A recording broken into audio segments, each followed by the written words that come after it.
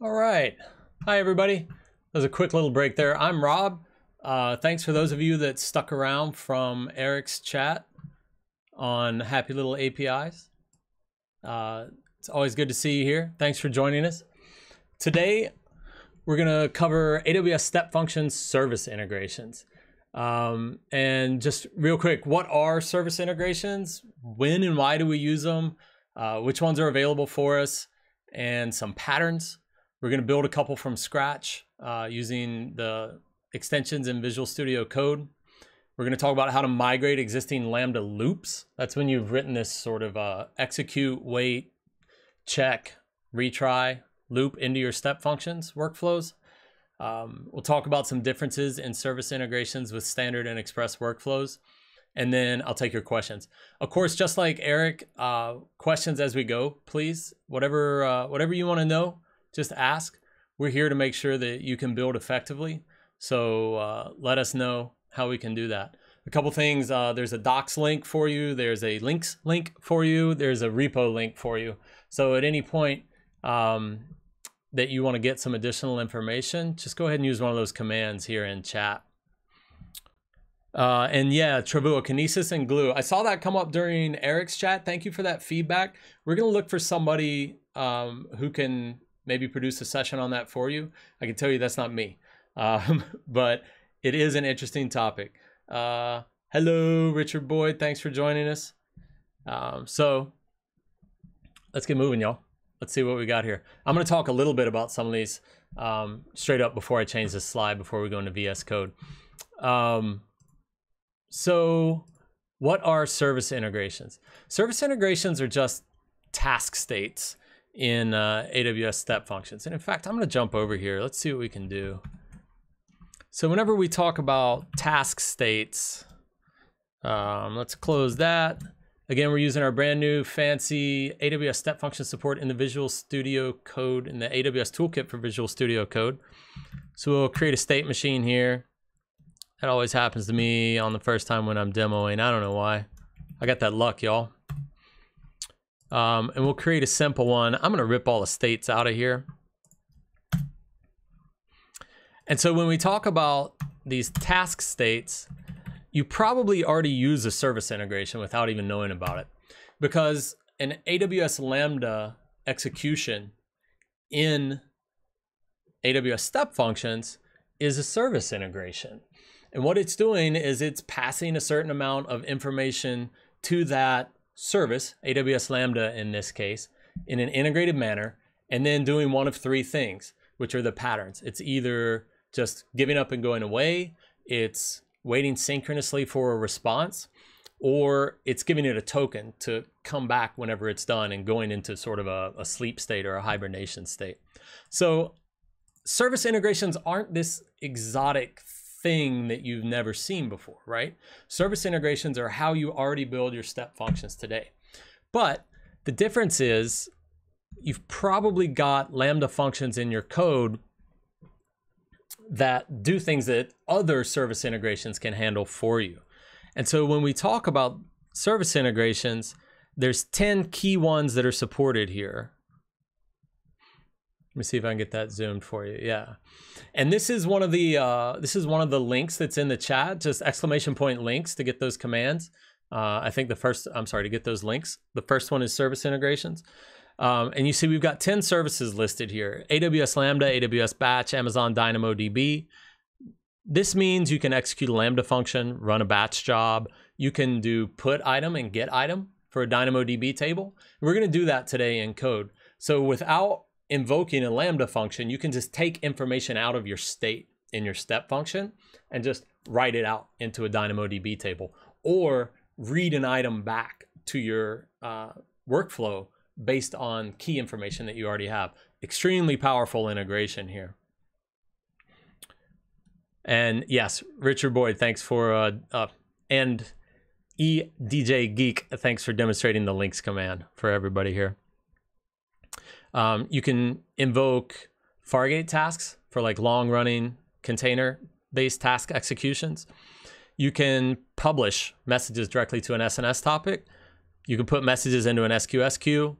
Uh, you can run glue jobs for uh, Travua So there's an integration there for you, even if I don't know how to use it. Um, you can run Amazon SageMaker workflows. So or, or, jobs. So uh, again, a lot of direct integration between AWS Step Functions and Amazon SageMaker. I'd encourage you to look into that if you're doing any uh, machine learning workflows. Uh, EMR for data processing, and of course, you can invoke a Step Functions workflow from Step Functions workflows. So it's like turtles all the way down, y'all. Um, so those are the 10 types of service integrations that we have.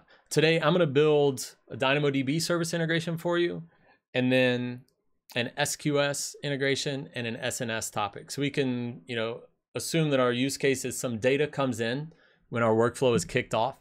We need to persist that data to the uh, DynamoDB table. Once that's done, we get information back about that job or the confirmation on that operation, and we put that in the SQS queue as a message so that downstream dependencies can take some action based on it. And then we put that information back in a notify uh, into a topic. So, uh, kamen ochtek. So, mean kamen. Oh, oh, that's not nice. Hussein, I'm going to modify this. Just because you say stuff in Arabic doesn't mean, uh, yeah, we're going to have to time you out there. I apologize to any of our viewers. Uh, luckily, I had a mispronunciation on my Arabic there, but um, yeah, that was that was that was not something that we would want to see in chat. So apologies. I hope that nobody caught that and you're not offended by it. Um, and then we'll talk about Amazon SNS and we'll publish a message into the topic as well. So let's see where we can start first. Um, I also want to talk about it. if you see across the top here on this page, there's um, these three service integration patterns, and that's request response, run a job, and wait for callback. So request response is like a sort of fire and forget thing, right? You you execute an API call to the service integration and then you just continue execution of your step function, secure in the knowledge that whatever has happened has happened, right? It's off there doing some other thing. Uh, run a job synchronously when you do the dot sync invocation means your step function blocks and it stops and waits for the response to come back from whatever service integration you have. And then wait for callback is a topic all to itself. It uses tokens that are in your step function workflow execution context, passes that token in the parameters, and then waits until something calls back with that token. And this is where you see really long running processes. Like if you have a manual intervention in your workflow, if you have a space where, say, uh, think about a bank, right? And any transaction over $5,000 has to be approved by a human. And so at this point, you could kick off a long running workflow and maybe somebody's sick and it takes until next week, but that's okay because that workflow just sits there until somebody approves it and then it calls back with that token. I'm going to show you how to get that information out of your execution context as well. Um, Richard Boyd asks here, can you integrate with WordPress? I cannot. Um, but all facetiousness aside, if you were to put your WordPress installation inside a container and run that container as an AWS Fargate task, then you could, in fact, integrate with WordPress. So it's all uh, it's all sort of dependent on what you're actually trying to accomplish and how that that model would work.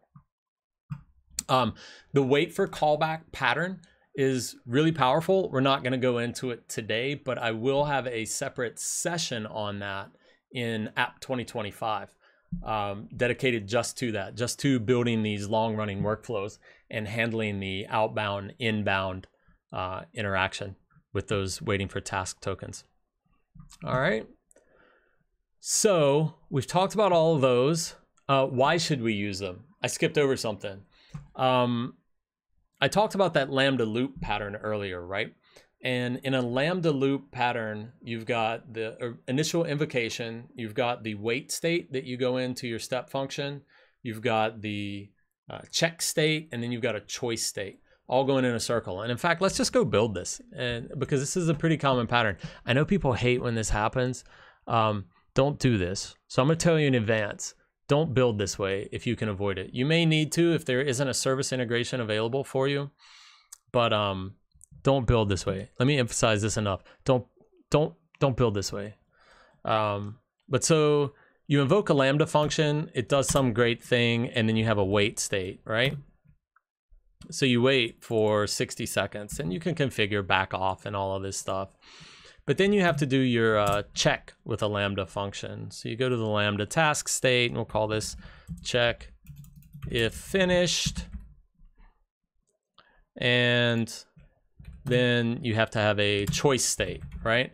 And if you're wondering, all these code snippets are coming from the um, AWS Toolkit for Visual Studio Code. Again, I had a, a, launch with Richard Boyd here in the channel that's available in uh, links as well. If you go back to the series playlist, uh, really super powerful from the AWS Step Functions team. And so at this point, you would either go, you know, you check your variable. If it's if it's completed, then you go on to whatever final state we have, right? Um, let's call it a lambda pass state. We'll call this, you know, final task. Ta-da.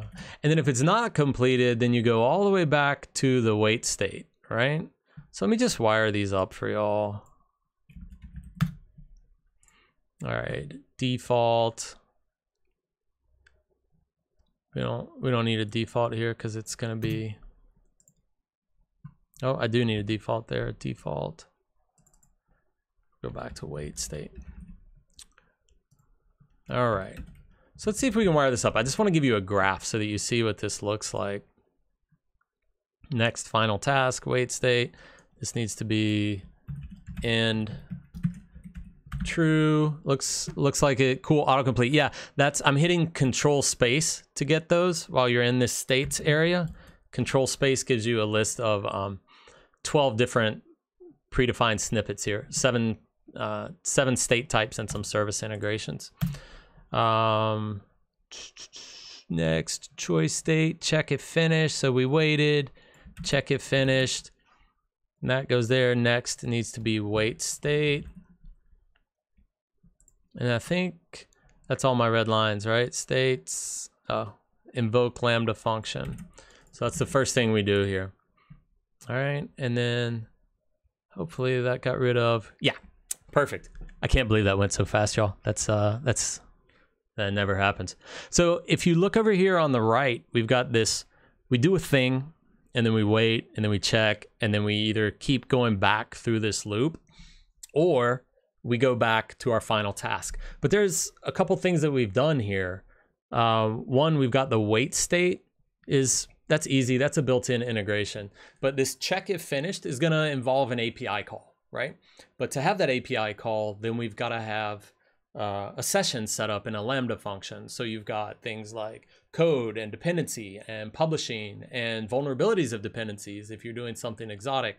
Um, you've got, you know, just a lot of complexity there that you don't need if you can use a service integration.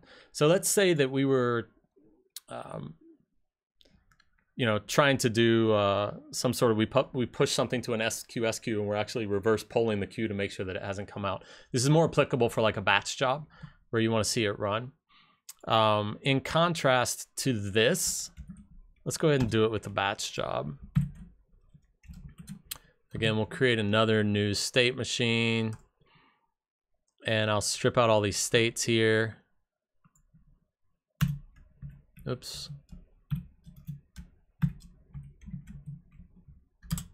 Control space. We give ourselves a manage batch task.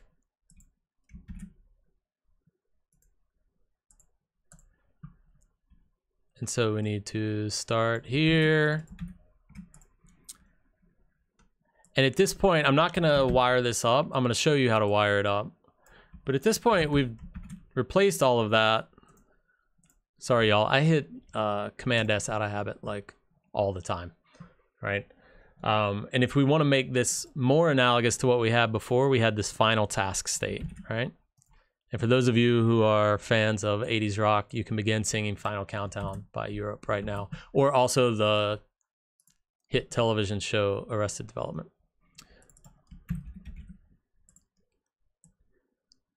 But so this is now more analogous to what we had before, right? You run this manage batch task. That's right. It's the final countdown. Ta-na-na-na. I'm not going to sing anymore. Y'all don't worry. This is not not going to turn into a singing stream. I, I promise. I promise you that. Um, but so you see, we've got this invoke lambda function that kicked off our batch task. And then instead of doing this loop in the middle, step functions is handling all of that for us. So we've reduced the amount of code that we have to write. We've reduced the number of dependencies that we have. We've reduced the potential for logic errors. Uh, this is like a much, and we've sort of made, we've simplified our understanding of this. And this might seem kind of trivial here with a simple, straightforward task, but any of you that use step functions in production know that you get these long workflow string, uh, long workflow definitions with hundreds of states in them, and any sort of consistent simplification that you can get is a big win. Um, yeah, almost caught a mute for singing on Twitch. Banana, not banana. We like potato. We usually go with potatoes on this stream. Uh, no reason why. I don't know. I don't even like. I don't eat that many potatoes. Um, but so if we go back, that's that's why we use service integrations, right? Is because we want to change this into this and get all the benefits that come with it. So if we come back here and we look at our batch jobs, and again, because I prefer potatoes, I do not prefer potatoes. Uh, I prefer potatoes right? So these are the different parameters that we can send in, right? And these are just parameters for our batch job. We're not going to get much further into this. I just wanted you to uh, see what we have here.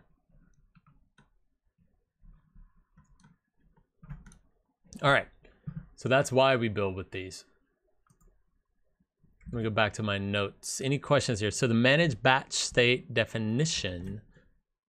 Question from DJ Concarne. So the manage batch state, batch state definition refers to the longer step function definition you defined in the other file. No, these are two complete, completely separate state machines. Good question.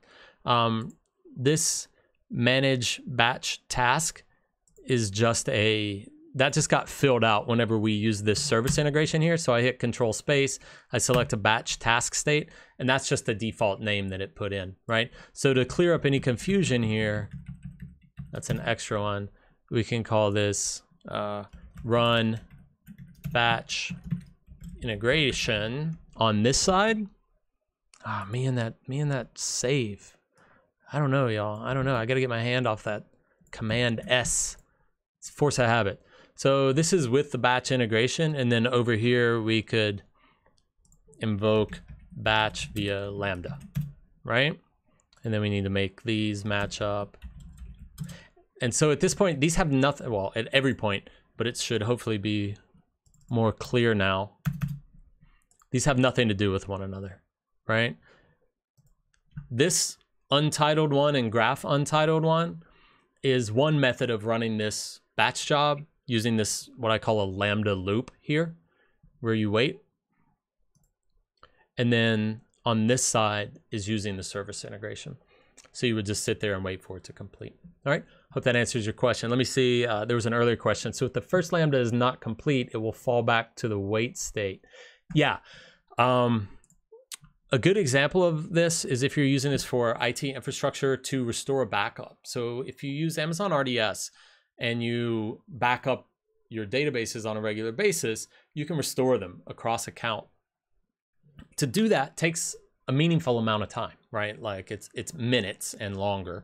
Um, so when you when you do that, you're going to want to start with some sort of timeout and then back off. Uh, Travu, I'll get to your max retry count here in a second. It's related to the uh, wait state.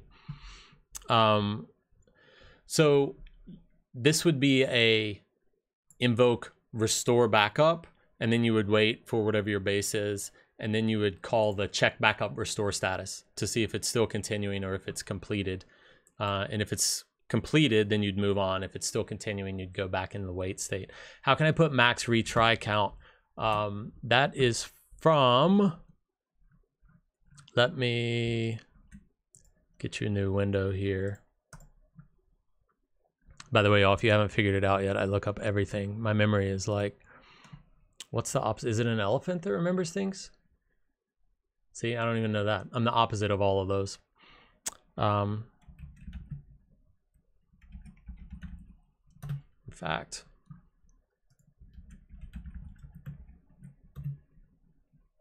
so this site right here is the formal spec. Oh, and Jay Thomerson has dropped that in there for me. Error handling, retrying after an error. Uh, thank you, Jay Thomerson, for the answer as well to that question. Um, what I dropped in there is the link to the Amazon States Language definition, which is where um, the formal definition of all of this is. Life is not what you can remember, it is what you can Google. That is correct, except I prefer to say search for on the internet. Um, so we have errors and retrying after errors. Task states, parallel states, and map states may have a field named retry, whose value must be an array of objects called retriers. And here's an example retrier. So we can take this example and dump it back into, where were we? An error here. Um, and you can do weird things like this. You can, uh, you can like assume success and catch the error. I don't know if that's necessarily the best pattern that I would recommend, but it is a pattern, right? And that way you can limit your number of um, retries. And so here we have the retrier, right? That we would just drop into our task state here when we're checking to see if it's finished. Um, we will try to answer. It was lower case. Case. How how dare you say the G word? Look, it's okay. You know we have competitors, we have partners. It's it's fine. I just I just happen to use a different search engine. So, you know, but that's just me. That's just me. Let's see, let's make sure I haven't missed anybody in chat here. State space signal, so much to learn with AWS. Where does one start? Be great if you would put a link to an official guide in your channel info. That's uh, that is great feedback, and there is a ton to learn with AWS. Thanks for sharing that with us. I will talk to the channel people that be and see if we can have that Oh, look at look at Richard Boyd, way way ahead of me with that uh, getting started. You know, I like to answer all the questions twice. Uh, you can think of it as like my uh, retry state, right? Um, it's the final countdown. E DJ Geek was singing the guitar part to the final countdown, as one does. That's proper. Uh, thanks. Have a read. How do try to answer his lowercase? All right. Looks like we're all caught up. Let me go back to my agenda here.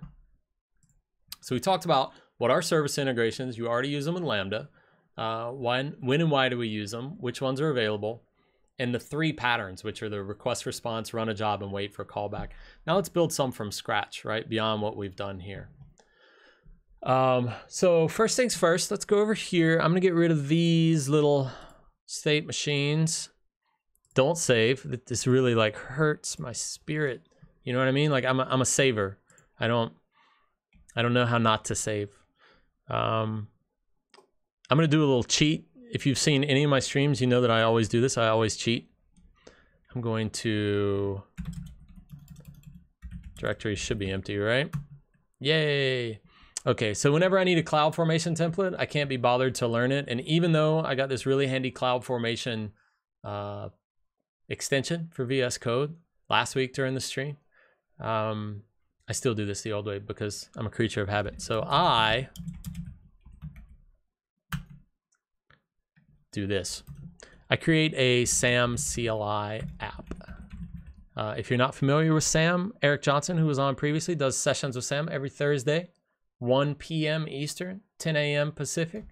Very worthwhile. That's the AWS serverless application model, framework for building serverless applications. Uh, I do it because I'm going to use one of these transforms here. Now we can go back in here. We're not going to need that. That's There's an AWS Lambda function there. We don't need that. We don't need that. We don't need this. All we wanted was this template, all right? So it just, it's a cloud formation transform. He uses Golang. I do use Golang. What language is this? Um, Well, the CloudFormation template is in YAML, but you can also do it in uh, JSON, but I prefer YAML. And uh, yes, I do tend to write my Lambda functions in Go. Uh, it's the one I'm most familiar with. In this case, we're actually going to rip out all of our functions. What we wanted was to just get this header here for our um, transformation and the format version, which I can never remember. So we don't need any resources and we don't need any outputs at this point. All right, pretty boring CloudFormation template. Um, the first integration I said I was going to build was with Amazon DynamoDB. So we're to need a DynamoDB table to do that.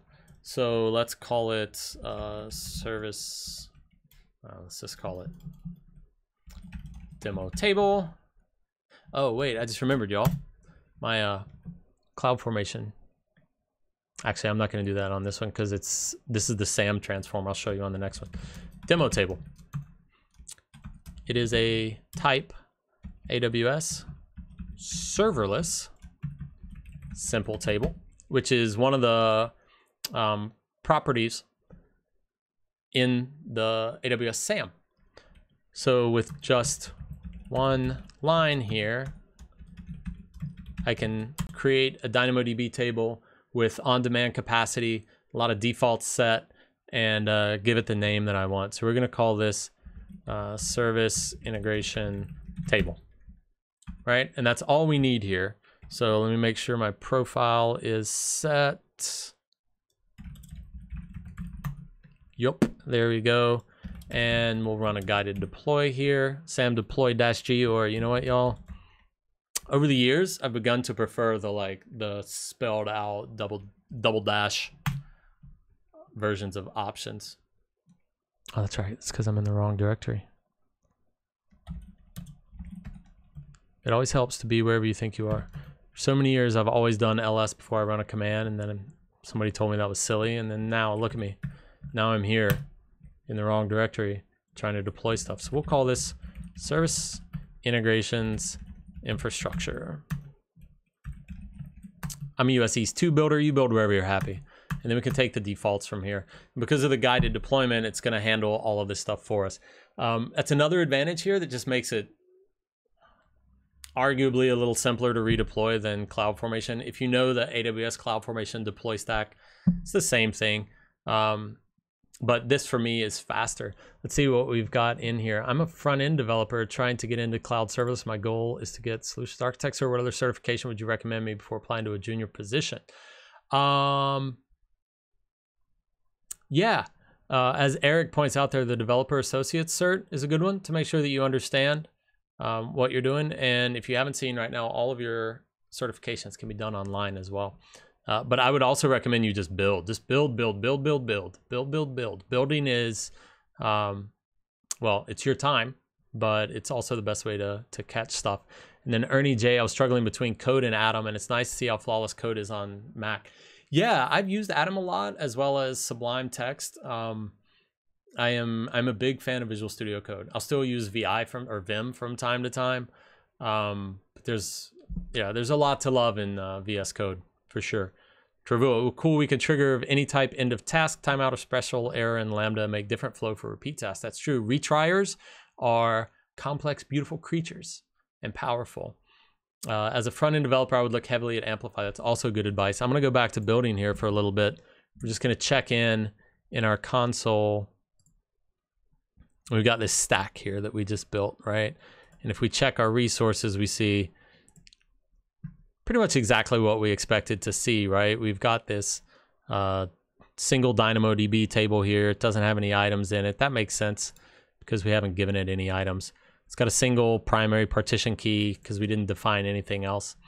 Um, it's pretty neat, pretty neat transform, I think. You don't even have to name your table if you're consuming that name uh, dynamically as well. So uh, pretty good stuff there. Now what we want to do I'm gonna grab this ARN while we're over here. Might need that in the future. I'm gonna hide this guy and we're gonna build ourselves a new state machine. Create a new step function state machine. Hello world. We like hello world. let's uh let's change this to a service integrations demonstration. Start at write to DynamoDB. And so I'm gonna rip all these states out again. And if you were with us when we introduced this, sort of the way to model this thing, I said we were going to do two things. We were going to write some information out to DynamoDB. We're going to take some of that information and we're going to put it into an SQS queue. And then we're going to take some of our remaining information and publish it to an SNS topic. So we could do that here as we can model that as three pass states, right? Um, first things first, I'm going to need to park that ARN there for a second. It's not going to like that. Um, whoa. All right. We need three of these. Um, let's call this one publish to SNS. For now, we're going to leave it as a pass state and in true. Um, send to SQS. We'll leave it as a pass state. Next will be publish to SNS. Um, and the final, the first will be write to DynamoDB with the next of send to SQS. Let me get up here, cut this out again. Again, I tried to save that, y'all. We don't need to save this. And then we can click over here, visualize this, right? So this is exactly what we just talked about from our business process. Uh, we're gonna get some information out of our execution context. We're gonna write it to our DynamoDB table. Uh, and then we're gonna take some of that information, we're gonna send it to SQS and publish it to SNS.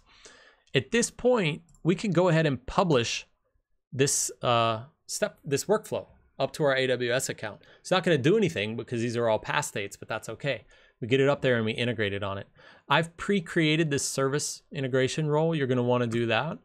Um, we're gonna wanna name it service integration demo. Boom, look at that, lightning fast, lightning fast. And again, as we've shown before, oh, get rid of you. We can go over here and start this execution, right? Let's give it some empty JSON object. Ta-da, execution started. And now if we go back to our console, get ourselves a happy little step functions window there. We see that we've got this single execution that we just saw right now and it succeeded. And it should succeed because it, it didn't do anything right? And we just passed this this comes back our pass state if you see it was uh, manipulating the response data that just flows through. So awesome. We've got this thing modeled. Now um, we can start building it. And I know it's a little confusing to see all these things just when, uh, you know, when my screen's all blown up. Any questions? Is it possible to use SAM deploy to use Terraform instead of Cloud Formation? No, not at this time.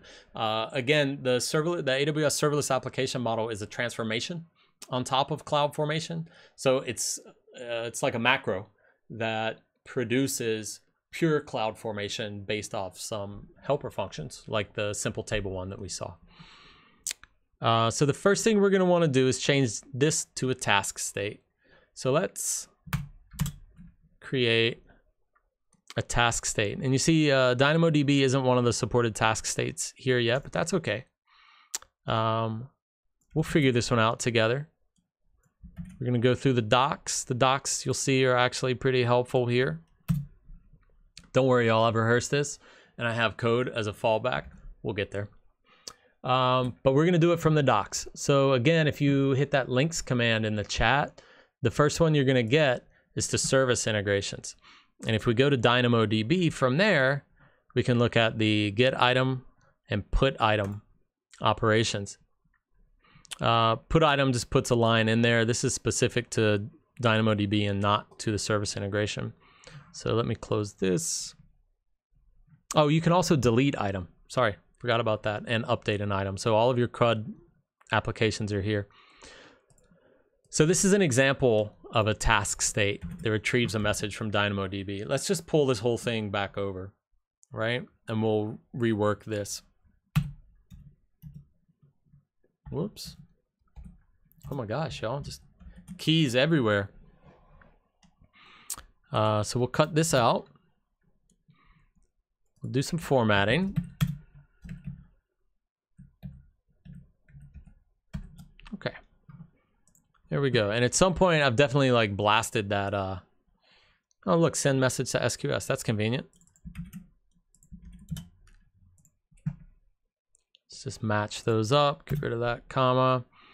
Okay, so this result path, again, we're going to talk about um, result path, input path, and output path in a future episode. Super critical to understand how you can manipulate those throughout your state. Your state is of a limited size as well. So you want to bring the necessary information through your state, but you also don't want to hold on to things that you don't need. So that's going to be uh, an entire episode devoted to that next time. Um, this is a get item. We're actually going to do the opposite. We're going to do a put item here. Parameters, instead of a key, for put item, you pass items. And this is documented back here. Um, if you go to, sorry, item singular.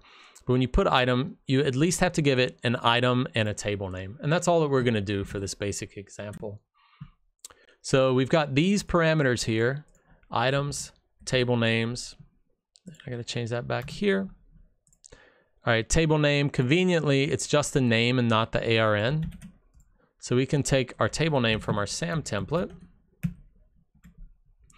And for an item, we're going to provide the required fields, right? This is a map. So we know we had an ID of um, type string, which is our primary key.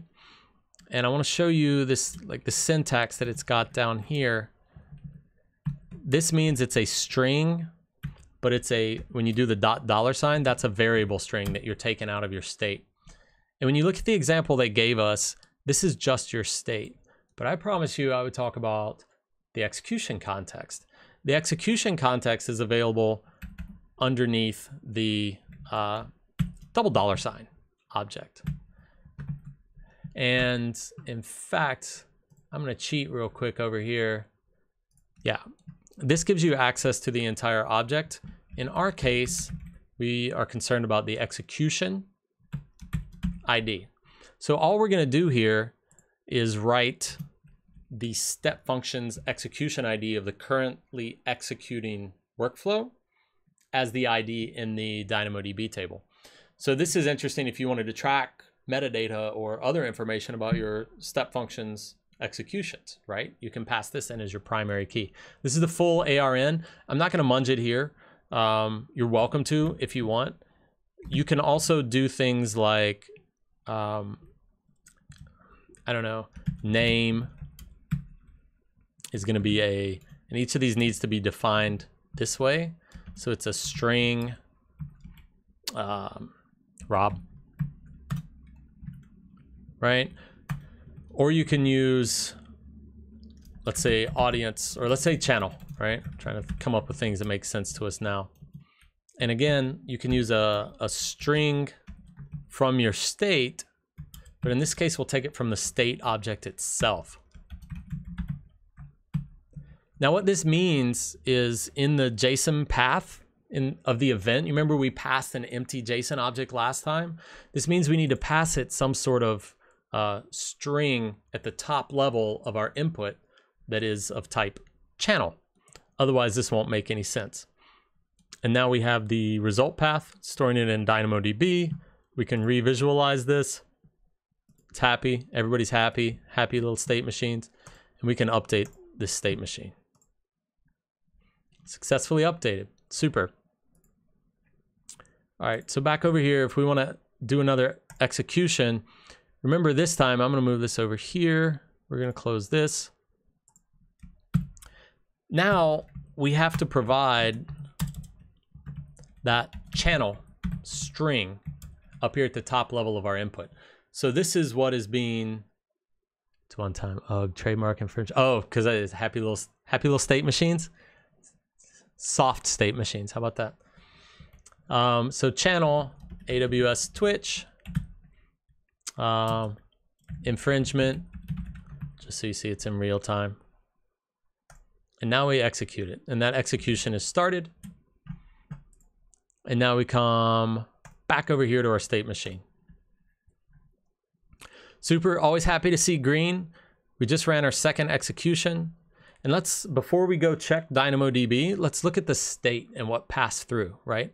So this, write to DynamoDB is the first step, and it gets the unfiltered input that we passed it. AWS Twitch infringement for uh, as penance for my infringing on Eric's copyright of happy little AWS services.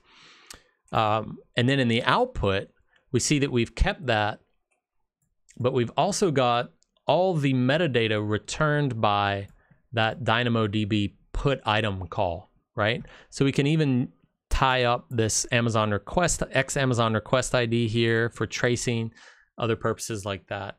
The request ID is tracked. Uh, so we get all of this back and we can filter it. Again, if you're looking at this after the fact, if you're running big executions, you don't want to keep all of this.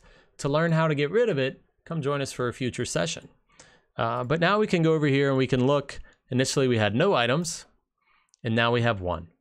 And you see that we passed it this static string, that name Rob. Let me close this. That name Rob came from this constant that we've defined. See how that's got no, um, where's my, there's my mouse. That doesn't have any, it's not pulling from any variables or any objects. Uh, the channel is in the input object that we passed it, and that's a single dollar sign.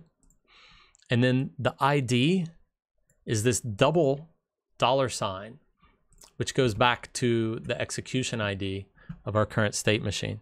And you can see if we expand this, maybe let me grab that, that this matches, this 2F324, this matches our execution over here, right? Pretty crazy stuff, right? So you have access to everything that's in the state and you have access to the execution environment. Um, why did I show you that? I showed you that because another thing that's in there let's back up here, is your task token. So that's one way of getting your token is by getting it from the context object. So you see, we dealt with this execution ID here. We would also have access to the input. That is the original input that you receive on the execution. But then you've got this task.token, right? So in fact, just for the purposes of this, let's go back and change that to our task.token. So you have a little example of how to extract that and pass it in. Oh man, with the save key and how to pass it in whenever you're doing your service integration. So I'm gonna update this real quick. Quick update, yay. We're gonna start another one, channel task token. I'm just putting that, it doesn't make any sense as a channel, but whatever. It's just so that we see the difference in DynamoDB. Oh, I bet I got an error. What have I done? Write to DynamoDB was canceled. Let's see.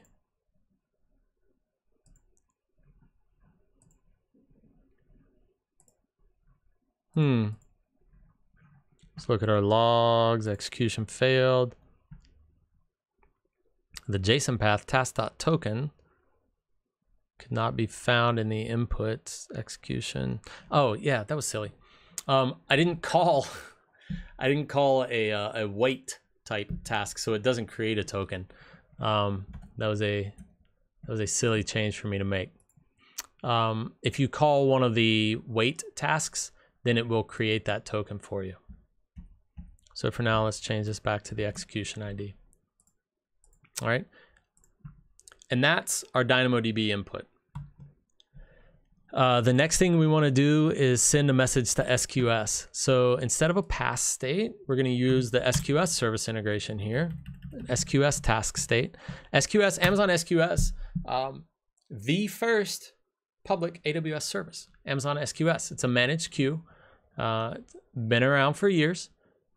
And if you're familiar with something like Celery in the Python environment, uh, Sidekiq in the Ruby Rails environment, that's what you got here. It's a queue. There's a ton of functionality in it. You can have unordered queues, FIFO queues.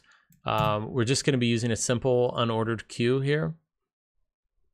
Let me change this. Again, it meets all of our serverless tenants. You don't have to provision anything. You just say, I want a queue here, and then you start putting messages into it, and then you have something pull that queue to take the messages out of it. So we just need to define this.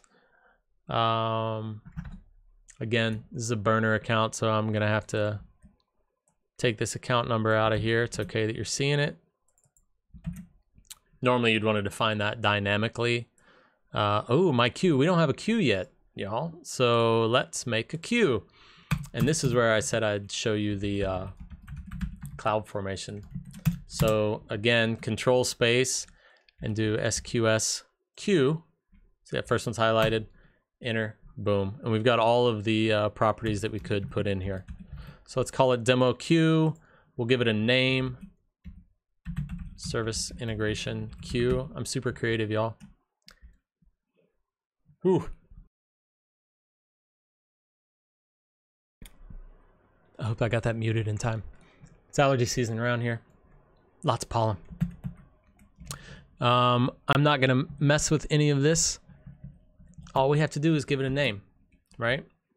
And we go back here SAM deploy again. It's uploaded that change set. It's going to create this queue for us. While it does that, we can take our queue name. Oh, successfully completed. We can take our queue name and we'll put it in here, right? Service integration queue. So message body. Here you can do the same stuff as before, right? um, however you want to define variables, etc. Um, if you want to use variables though, wherever in the JSON path, wherever you put your variable, I don't know why that's not clicking off there for me. There we go. Then you need to tell it that you're giving it a variable. So in this case, we're just going to take, uh, what did I pass it before? The entire DynamoDB response object, I believe. Let's see. Yeah, so let's go back and see where we were putting our response. It's just in the default.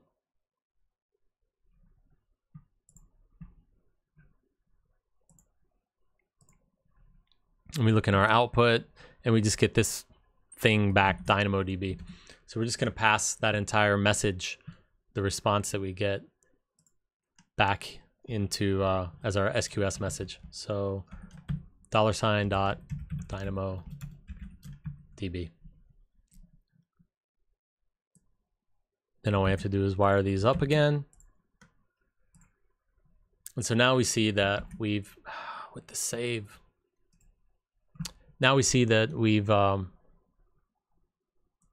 created our SQS queue and it's ready for us to put messages into. So again, we'll publish it, give ourselves an update. Successfully updated. Ta-da! Uh, I don't need to go to this anymore because we have it over here. Still got that same input that we want. And there our execution is started. So we can come back over here. We should have a fourth execution. This one succeeded. And again, if we look at this step now, we see that we've got all of our SQS output has replaced our input state. It's because we didn't give it a, a result path. So it's just given us the entire output is our message ID. So if we want to prove this out to ourselves, a couple things here, right? So now we have this uh, item that was just written into our DynamoDB table. But we can also go over to SQS look in our queue here and pull for some messages, right? So we have to start polling for messages and look, we see we have this one. And this is exactly the response that we got from DynamoDB. So you can do this with any part of the state that you're pushing through your step function. So this isn't anything that we inserted into our step function originally. This is the dynamic result of the service integration with DynamoDB. And now we're pulling that back out and pushing it into our SQS queue. All right, so you see, it's just a matter of chaining these paths through here to write it. Let me close this and give a little more space here. This result path, we make this first service integration, we write our record out to DynamoDB, and that gives us a response. And we restore we store that response in the defined result path. That's why it existed alongside it. Well, we forgot to do that for our SQS. So we can call our result path here SQS. And now with the save, if we update this and rerun it, now we'll see that we're no longer overwriting all of the state. We're inserting that response beside the state. So we can execute this again and go back to the step functions console. And now when we go to this send message to SQS, we see that we started out with input we gave it, information that we got from DynamoDB as our input, and now our output carries all that information forward and adds the result of our SQS task, right? So we're building this state as we go along. And again, we need to make sure that we're not exceeding the maximum size of the state, which I believe is 32K of text. Somebody please correct me if I'm wrong on that one. Um, but we're at 50 minutes here. I want to see if there are any questions. The SNS one works the same way. I can just show it to you real quick. Again, it's as much using the uh, the toolkit as it is coding. But so we had this publish to SNS. Get ourselves an SNS task state. Again, define an SNS topic for ourselves here using the CloudFormation snippets. Oops, didn't want a policy.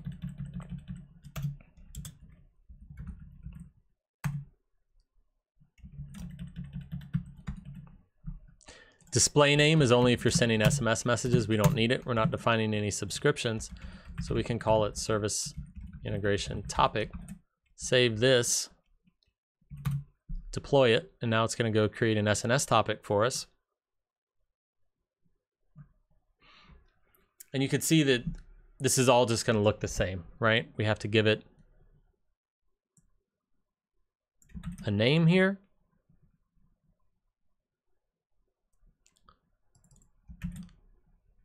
You can take the account ID from here in SQS. Region, US East 2. Rather than show you the whole input thing again, we'll just leave that there. Um,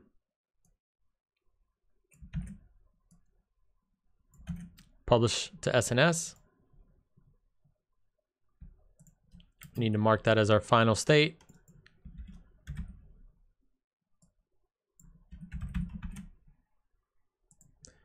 I will save this at the end, so it'll be available for you using the uh, GitHub command. You see that we've got this created here.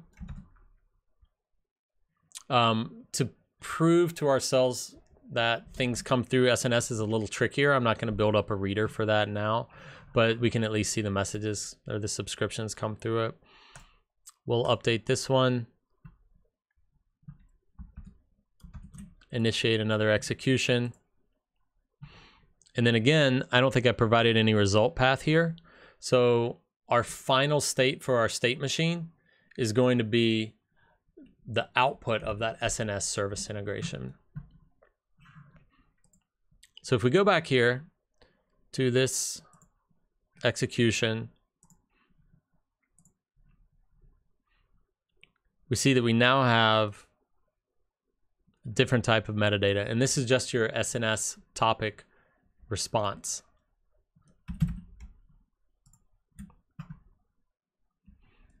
Let's see, we got one topic, No subscriptions on it, which is correct. So it's not going anywhere. We're, we're publishing into the wind right now, right? But so this is how you could use that SNS topic to alert a Slack channel or send an email to an email distribution list that a task completed successfully or unsuccessfully. The point is you shouldn't be creating a Lambda function to publish an SNS message. Use those 10 service integrations that are there for you. Again, we can go back and look at that list. You've got Lambda, Batch, DynamoDB, uh, containers, SNS, SQS, Glue, SageMaker, EMR, and step functions. Use those integrations. Anytime that you're running those uh, types of tasks, don't wrap them in a Lambda. Use the direct uh, step functions integration. It'll save you a lot of time. It'll simplify your workflow definitions and uh, save you writing code, right? So it's also more maintainable. Like the runtime doesn't change out from underneath you. So it looks like there weren't a lot of questions at the end there. I know that was a lot in the weeds, but I wanted you to have like individual examples of those three services because I think those are the most common. So think about where you have um, publication to SQSQs, SNS topics, or storing or retrieving data from items from DynamoDB. Think about where you can go in and refactor those out of your code and replace them with service integrations and step functions. All right. So I want to thank everybody for joining us today. Um, I will be here next week. The topic next week is parallelism and concurrency in step functions, which is one of my favorite things, right? We we talk about these things in demos and ones, but the reality is we're handling these things in production in hundreds, thousands, millions, right? So where do you split those? Where do you run parallel step functions workflows where do you run dynamic parallelism or map state inside a single workflow? And where do you lean on the parallelization of your language, especially if you're using something with, uh, it's famous for concurrency like Go, right? So I'll bring you some examples of that, of when you would choose one over the other and how you can manage that next week. Same time, uh, 2 p.m. Eastern, 11 a.m. Pacific on Tuesdays here on the AWS channel. Join me also on Thursday, same time, 2 p.m. Eastern, 11 a.m. Pacific for App 2025 when we build uh, the app of the future based on Amazon EventBridge and AWS Step Functions. All right. Uh, thank you all for joining today. Appreciate your time and uh, now go build, right?